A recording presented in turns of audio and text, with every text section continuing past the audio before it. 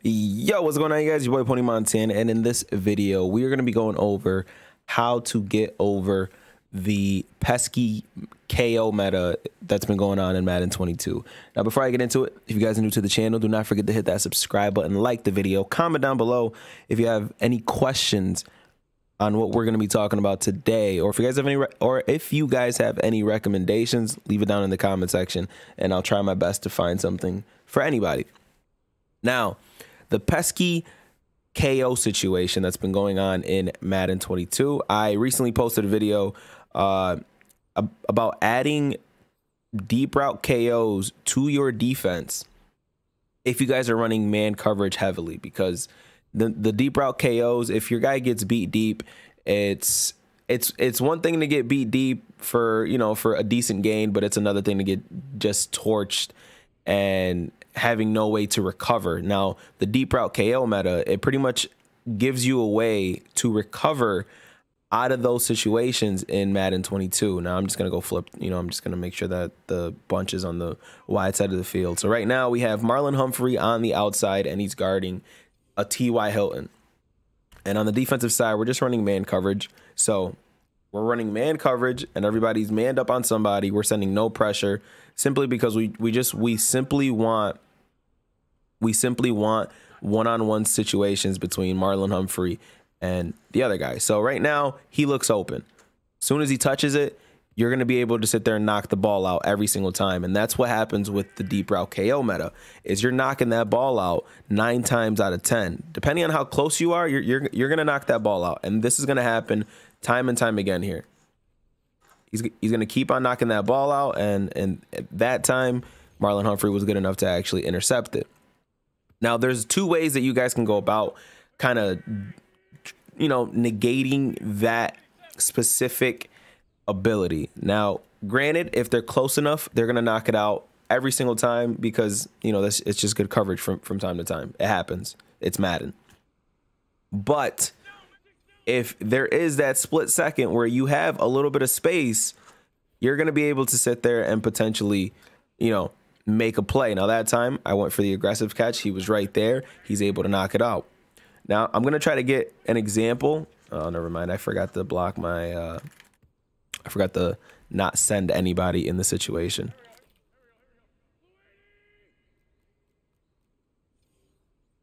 So I'm to try to go for it one more time. And this, you know, I actually have to get, I have to take R1 off of the route that he's on in this situation for this video specifically. And then we're going to go over the two ways that you guys can potentially just just kind of kind of negate these deep route KOs. Now this time he actually got absolutely burnt and if he recovers fast enough, he might have been able to actually still knock that out. And you see it in how how he lit up and he lights up because he has that deep route KO. Now the two ways that you guys are going to be able to sort of negate this this KO ability by one is going to be by possession catching. Now, possession catching is something that a lot of people don't do, especially when they feel like their man is open. And as you can see, the the animation that we just got there was a terrible one. And because he has deep route KO, he was able to knock the ball out. This is a catch without deep route KO. This is 100% a catch. Unfortunately, we ended up with one of the worst possible animations in the game for a possession catch when you're facing a deep route KO. This gets frustrating. Now, the second way is you're going to combine the swerve technique with a possession catch.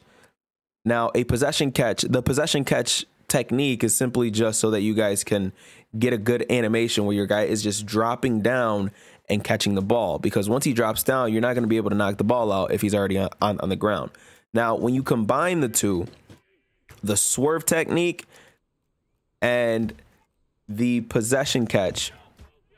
I'm just going to make sure that nobody is in T.Y. Hilton's way when he runs his route. Now, when you combine the two, I'm not I might not be able to do it here, but when you combine the two, you're going to be able to pretty much put yourself in a position to where the AI doesn't really detect that person being in the way and I just got all these routes going in in random random directions. So you're going to be able to throw it in a way where you're gonna die for it a lot of the time. So if you guys watch the swerve technique video, you're pretty much swerving away from the defender, but you're swerving away from the catch from the the area where the catch is going to be made that that circle. As you can see i kind of moved up a little bit. I kind of moved up right there I don't know if you could see T.Y. Hilton, but you see how I move up and then I'm holding X or A if you guys are on the Xbox to possession catch it. And as you can see, we end up getting a nice diving animation here. You are never going to want a RAC animation or aggressive catch because any any KO ability on the field is going to knock it out. It's what they're intended to do.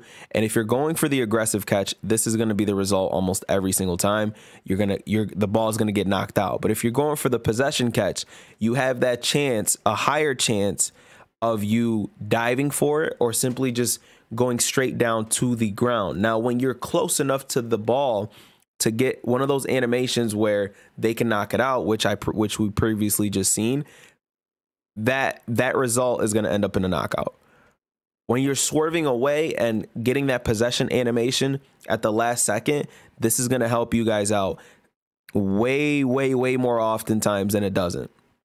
Now, because that meta is is is sort of taken over, where a lot of people are running man coverage with a bunch of zones to to boot, they're they're leaving the inside wide open. Now this time, th- this this one might be easy, but again, we go for the possession, and I, I'm I'm going to show the replay on that again. We go for the possession, and we get a beautiful dive catch. Yes, we did the swerve once again. You always want to do the swerve if you're if you're facing anybody anybody who has a KO. Now, as soon as I clicked on, I clicked on right here. I move my cursor upwards and then go over towards where where the possession catch can be made because it forces my guy to go for a diving animation instead of him just potentially not getting the animation that I that I personally would want. You always want that diving in animation because it leaves no room for error. Your guy's going to catch it 9 times out of 10. Nothing is 100% in, in Madden because we all know fluke exists and that's just that's just the reality of it.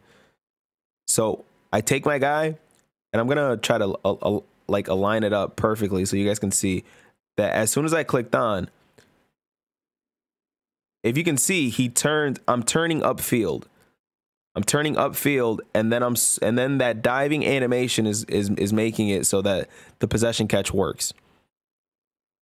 And I'm gonna try to get one more one more demonstration. I also didn't know that uh, this play actually beat man coverage so easily. I'm gonna get one more one more demonstration to see if I can get a different animation.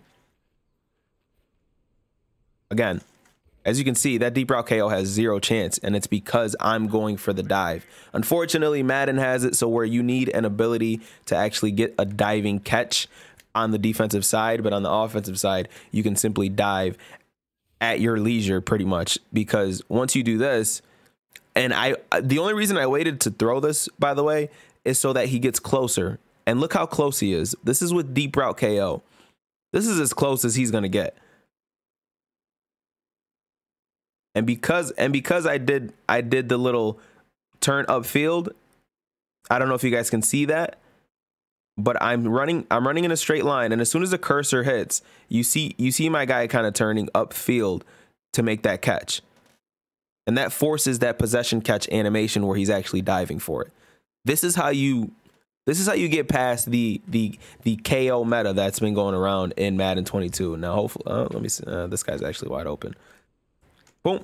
Again, wasn't even didn't even have to deal with the KO stuff, but Pascal was open. Zach Pascal was wide open, so we throw it, and instead of going for the RAC, now granted we could have went for the for the RAC animation, we turn up field and we're able to sit there and confuse the AI to where they can't make a play on the ball. This is pretty much we're pretty much putting a possession catch and we're adding this to the swerve technique that we posted the other day. This is how you destroy the KO meta that's been going on in Madden. Learn how to possession catch properly, add it with the swerve technique and get yards. You're gonna get yards not nonstop by doing this, like because you're catching the ball. You're you're guaranteeing yourself a catch. That's why they added these different catch types in Madden: the possession catch, the RAC animation, and the aggressive. The aggressive, we'll talk we'll talk about that in another video because there are ways to make that better as well. Um, but with these deep route KOs going crazy, aggressive catching is just not the move because it's an aggressive catch. Hopefully, this video helps you guys struggling to beat the KO meta that's been going on in Madden 22. My name is Pwny Montana. If you guys like this video, make sure you guys are leaving a like, subscribe if you're new, and I will see you guys in the next one. As always, two fingers, deuces, and peace out, you guys.